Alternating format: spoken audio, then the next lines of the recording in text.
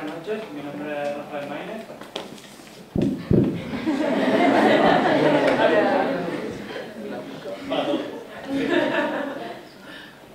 Mi nombre es Rafael Maínez, soy de Córdoba, estudio Dirección, Administración de Empresas y Derecho. En primer lugar, agradecerle que nos haya acercado a esta situación tan desconocida, más narrada, eh, sobre todo actualmente, como usted bien ha dicho. Y parece ser que cada vez más olvidada. Y en segundo lugar, quería plantearle dos preguntas. La primera es sobre eh, la primera diapositiva que usted nos ha mostrado y el apoyo que tanto a nivel de diferencias nacionales como internacional, supranacionalmente, ha recibido Israel a partir de, sobre todo, 1948.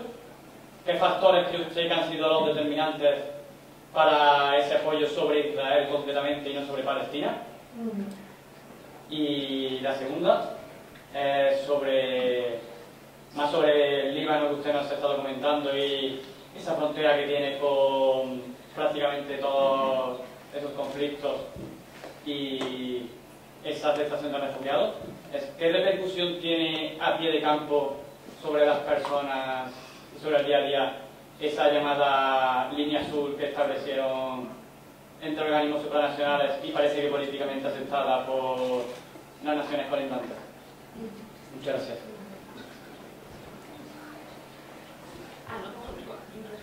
Vale, no, pues la, a ver, en cuanto al apoyo, eh, yo creo que por un lado pues es la culpa, ¿no? La, la culpa de Europa principalmente con, con, el pueblo judío, es evidente, ¿no? Pues el, el holocausto pues tiene esa reivindicación de, del sionismo sobre todo. De la creación del Estado, pues eso es lo que ha motivado. Y luego hay otra parte que es claramente bueno, pues es una forma de contención, o sea, cuando se mira hacia el mundo árabe como una amenaza y no como algo, algo con lo que estrechar y compartir lazos y construir, pues claro, Israel es ahí un muro de contención, ¿no? Eh, entonces, bueno, no sé si con eso te respondo, pero una parte tiene que ver con, lazos culturales incluso porque son europeos. O sea, los que crean el Estado de Israel principalmente son judíos europeos. Entonces, bueno, pues Europa, evidentemente Alemania, que es uno de los países más potentes en la Unión Europea, pues todavía yo creo que a día de hoy no se ha quitado la, bueno, ya, ya ha pagado con dinero y con gestos, ¿no? La, el nazismo.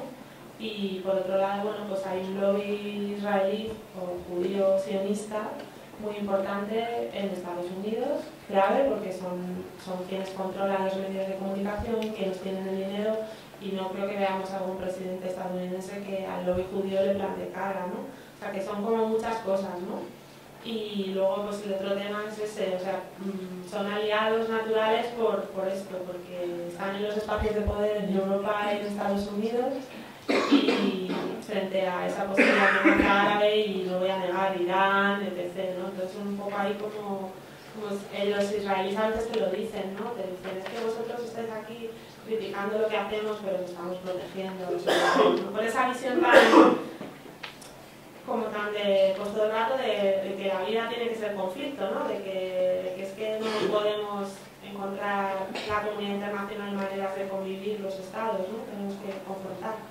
Y luego el tema del Líbano, pues tiene unas repercusiones tremendas. Por ejemplo, nosotras que yo llevo la área humanitaria, pero mis compañeras que trabajan más en temas de desarrollo y en derechos de las mujeres, pues un Estado que vive permanentemente esta situación tan pequeño tal, es que no se consigue un avance, un cambio legal, eh, una política pública que simplemente condiciones, o sea, implica muchísimas cosas en el día a día vivir bajo esto este stand-by continuo de, ¿no? Pues tienen dentro la Hezbollah, o sea, todo el conflicto con Israel, ahora con este tema de los sirios, no, no, hay ningún avance. Tú dices, eh, incluso cuando estás trabajando, que quieres hacer, yo qué sé, cualquier gestión, como yo me acuerdo que estábamos para vender un coche, que teníamos, esto en el 2011, ¿eh?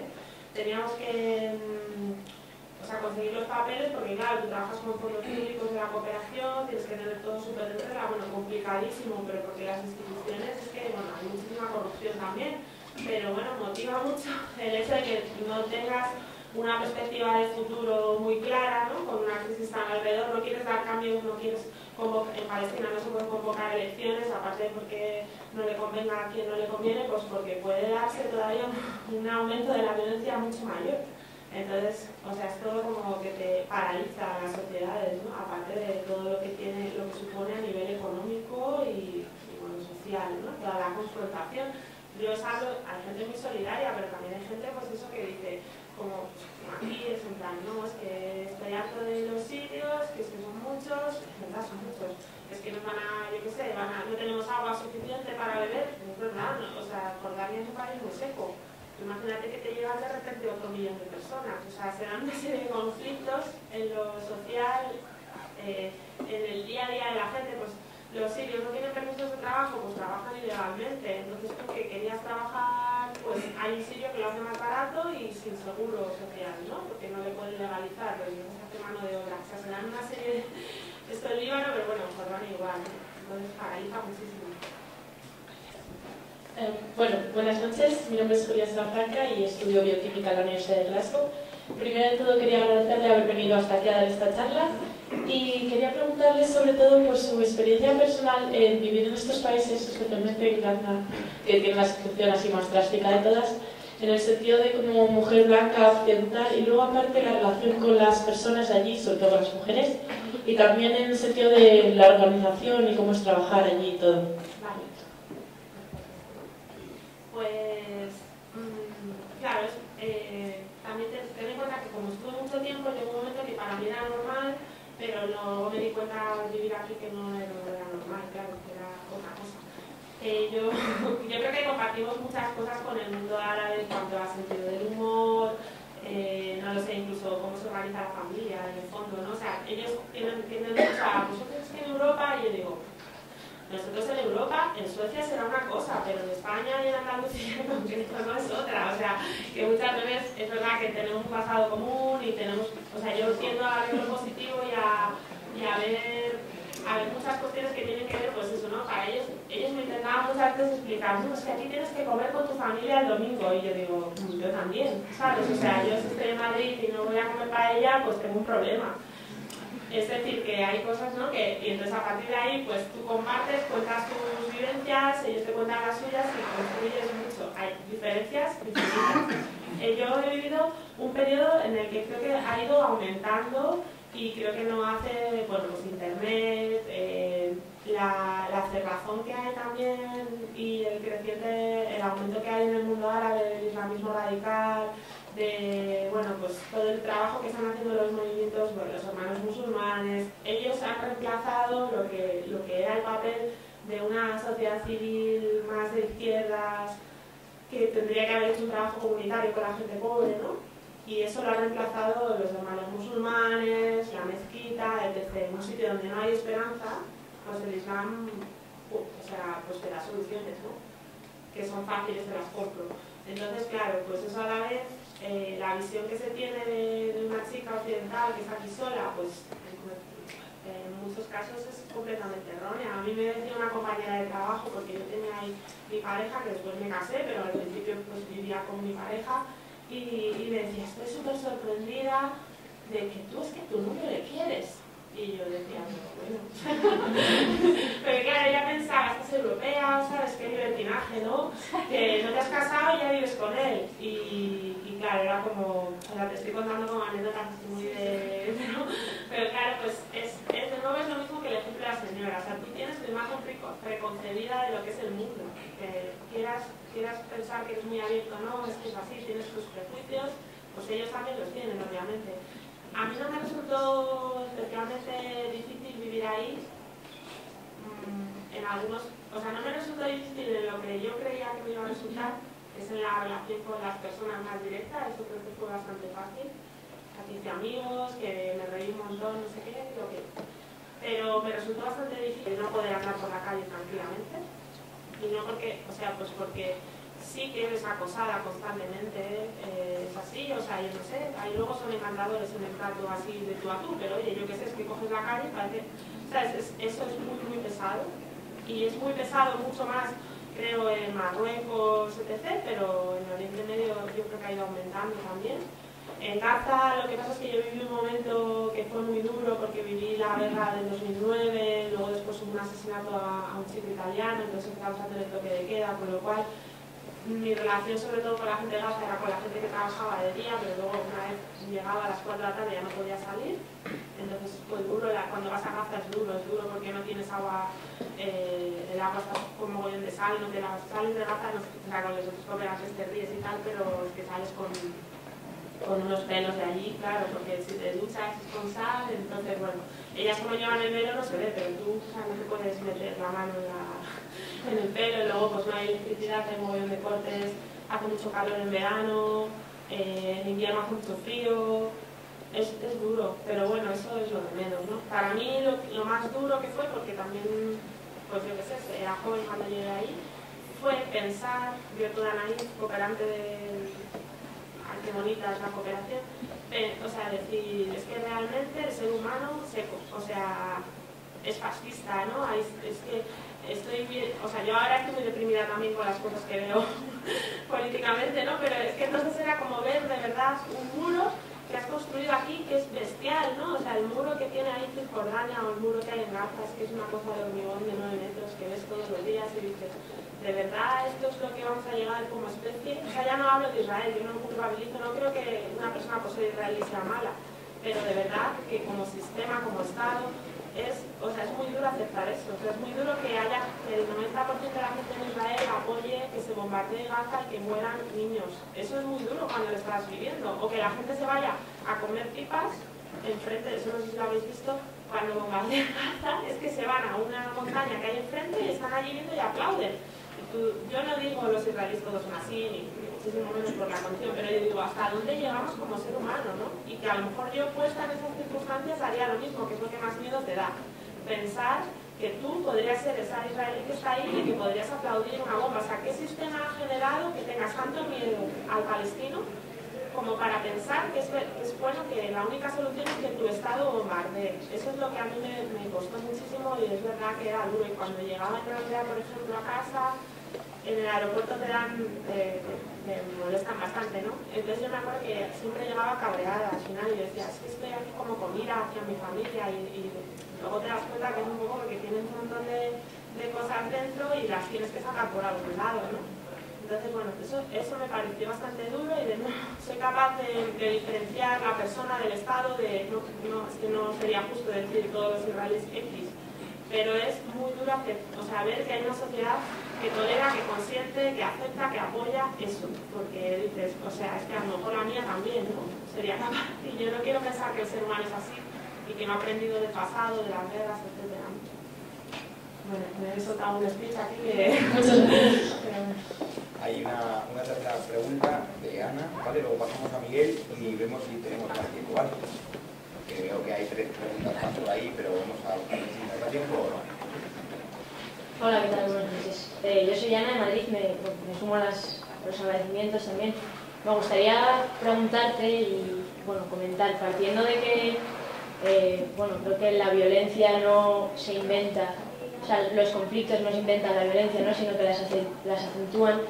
Eh, ¿Qué acciones se están haciendo o cuáles crees que se deberían hacer que no sitúen todo el tema de, de las mujeres y del género como, como, un objeto que debe ser protegido, sino qué posibilidades eh, de crear sujetos activos eh, se están haciendo y también qué libertades, o bueno, en negativo, qué represiones tiene el movimiento feminista en Oriente Medio y, por ejemplo, con todo el tema del acompañamiento ¿no? que, que, comentabais que hacíais vosotras desde vuestra organización, eh, me preguntaba que seguramente hayáis tenido en algún momento confrontaciones ¿no? con los maridos de estas mujeres, no lo sé. Y si, si era así, si por ejemplo existía la posibilidad o el formato eh, de unas casas de acogida ¿no? para mujeres que han sufrido eh, violencias de este tipo. No lo sé. Muchas gracias. Vale, bueno, muy interesante.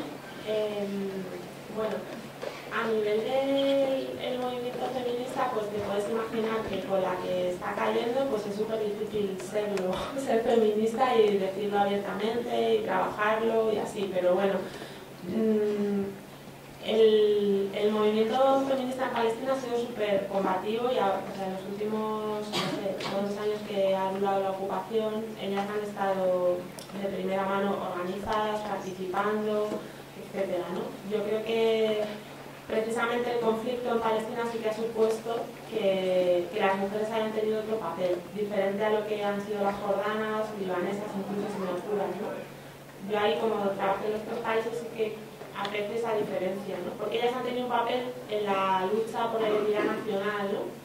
¿Qué pasa? Que lo que ellas siempre dicen es que tienen que hacer un equilibrio, hablo de las palestinas, muy grande entre dónde va, qué va antes, ¿no? La lucha identitaria y la lucha contra la ocupación y el sentimiento nacional palestino o los derechos que remuneran y muchas veces pues es mi hermano de lucha, ¿no?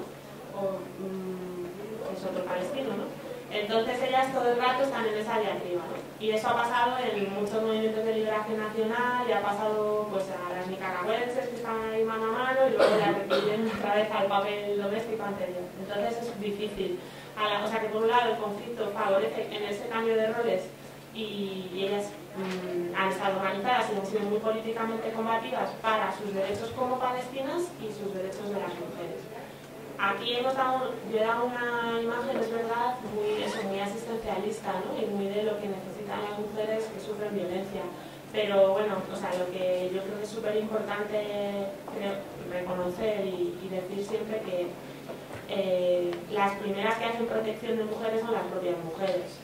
O sea, en el estudio, que no me he detenido mucho, al final está la clínica, que hemos aquí el ejemplo del modelo, que de los proyectos que hacemos pero el primer sistema de apoyo al que va una mujer cuando sufre violencia es otra mujer. y la que te protege primero y las, las que han empezado a hacer avanzar no son los servicios igual que en España, no han, sido, no han sido las instituciones, han sido las organizaciones de mujeres.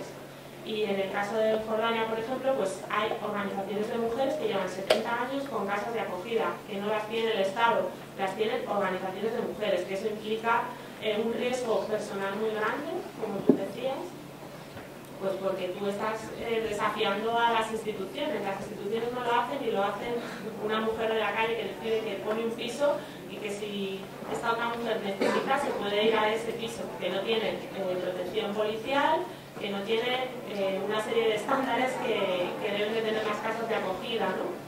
Y eso lo han hecho las mujeres en la región. Y son, bueno, yo creo que son súper valientes o sea, para mí son, eh, he aprendido mucho mi relación con ellas y, bueno, sí que creo que hay una brecha generacional que, bueno, pasa también aquí en el feminismo en España, que hay, bueno, pues muchas mujeres ya pues de 60 años, ¿no? que, que, han vivido una época, han tenido su momento y tienen que dejar espacio a, a las mujeres jóvenes. Eso es una es también un rasgo que tiene el movimiento feminista, que quizás cuando lo ves pues son siempre en primera fila son mujeres ya mayores. ¿no? y no tan conectadas con la gente joven, con movimientos sociales más de base, con nuevas tecnologías, con redes sociales, entonces eso, ahí hay una brecha.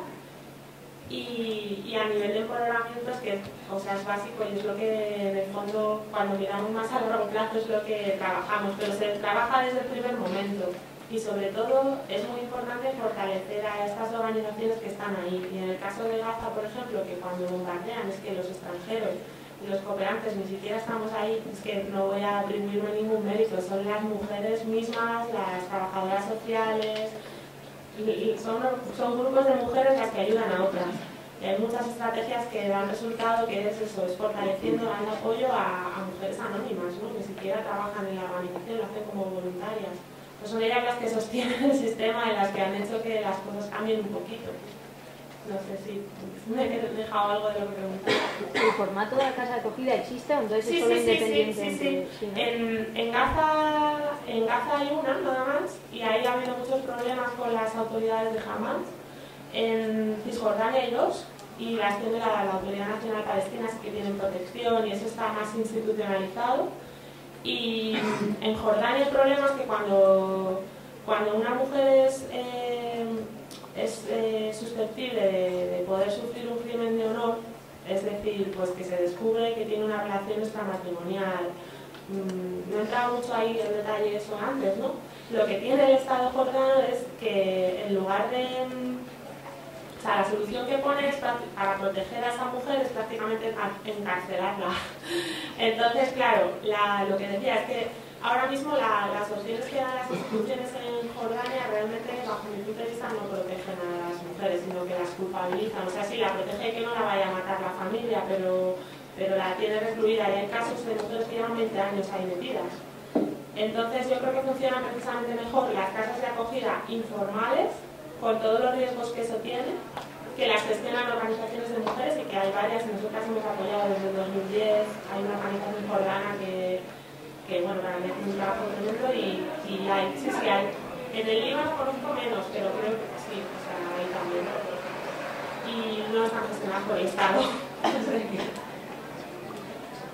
Bueno, estamos ya en las, en las 9 y eh, además si, somos capaces de terminar puntuales, eh, podemos también rodear un poquito a la ponente mientras unos van a, cenar, bien, nos pueden rodear un poco a Cristina y hacer las últimas preguntas que os conozco.